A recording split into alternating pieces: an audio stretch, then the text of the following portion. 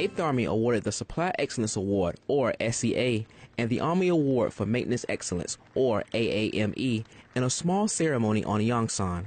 Soldiers and officers came to congratulate the awardees and represent their units. Um, we take a lot of time and pride in making sure we are the standard and we keep up with the regulations and we do what we're supposed to be doing the right way. The award is mainly about supply and maintenance excellence, but most of the recipients credited their glory to the whole unit.